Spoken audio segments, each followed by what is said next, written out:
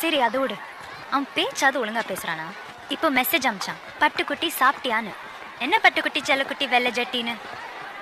கடுப்பா